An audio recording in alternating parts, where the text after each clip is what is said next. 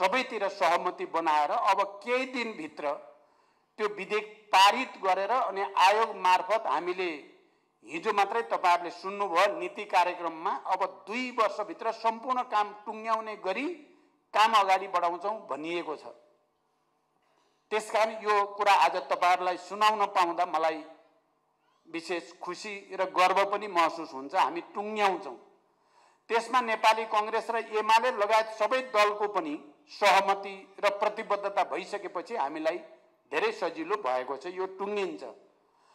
अब हामी सुरुमा बेपत्ता योद्धाहरूको कुरा गर्दा हामी उहाँहरू हुनुहुन्न भन्न हामीलाई पटक्कै मन लाग्दैन थियो उहाँहरू हुनुहुन्छ होला कतै कुनै ब्यारेकमा या त कतै कुनै ठाउँमा राखिनु भएको होला।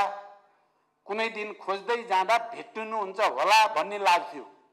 कसैले बेपत्ताहरू छैनन् उहाँहरू त अब भेटिँदैन भन्दाखेरि जो भन्छ त्यसलाई चाहिँ झौटौँ जस्तो हुने कि यो कस्तो गलत कुरा भन्यो भने जस्तो लाग्थ्यो। तर अहिले पन्ध्र वर्ष सोह्र वर्ष बितिसक्दा अब बिस्तारै हामी सबै पनि बेपत्ता योद्धाहरूको यथार्थ स्थिति जानकारी भइदिएदेखि उहाँहरू हुनुहुन्न भने पनि हामी चित्त बुझाउने उहाँहरूलाई शहीदको रूपमा राज्यले पनि सम्मान गरोस् पार्टी आन्दोलनले पनि सम्मान गरोस् भन्ने मानसिकतामा हामी सबै फेरि आइपुगेको जस्तो मैले महसुस गर्छु।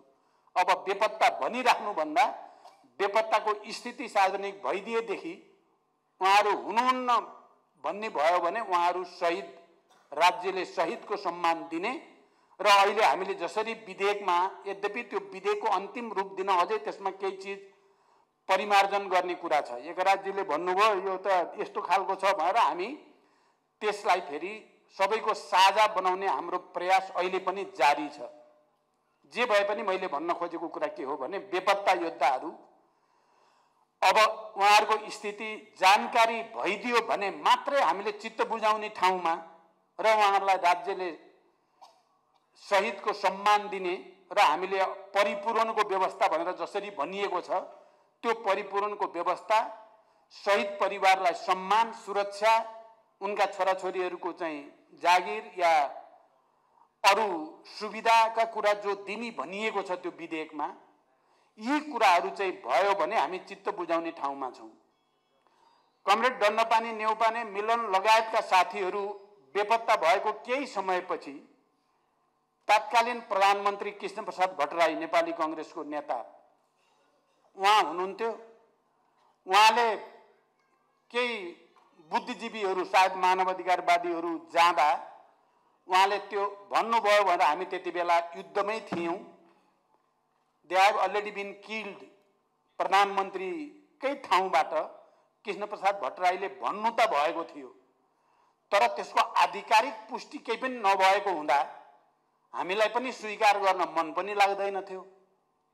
तर अब चाहिँ सायद समय आएको छ छिटै। यसको टुङ्गो लाग्छ।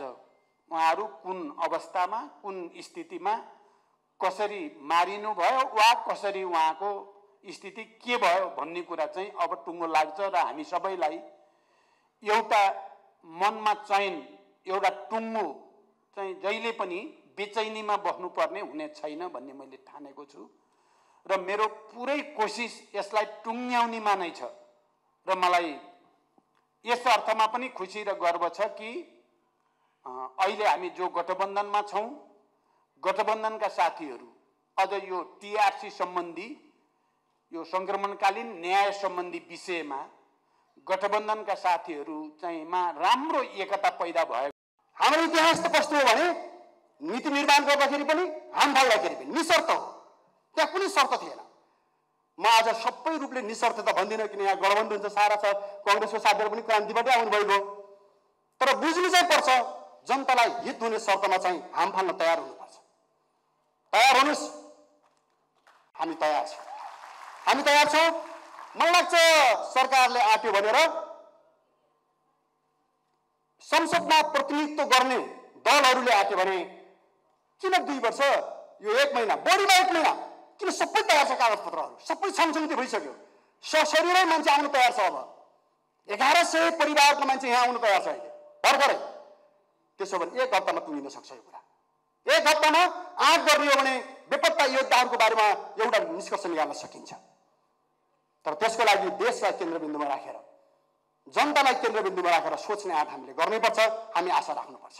तपाईँ हामीले मुक्तिको लागि जीवन अर्पित गर्ने सपना नदेख्ने हो भने आँट नगर्ने हो भने स्वाधीनता पाइँदैन मुक्ति पाइँदैन। आजको दिनमा म के भन्छु भने फेरि एउटा नेपालमा एउटा समय आयो भने हामीले हाम्रो देश र जनतालाई केन्द्रबिन्दुमा राखेर आँट हामीले गर्नुपर्छ। त्यसैले हामी अझ अग्रगामी एउटा निकासको लागि तयार भयौँ भने बेपत्ता योद्धाका परिवारले अपेक्षा गरे जस्तै हामी देशलाई नयाँ बनाउन सक्छौँ लान सक्छौँ। सबैसँग सहयात्रा गर्नु नै हो। आजको एक्काइसौँ शताब्दीको समाजवाद भनेको एक दलीय मात्र हुँदैन। प्रतिस्पर्धात्मक समाजवाद हो। हामी विश्वस्त छौँ। हामी जनताबाट वञ्चित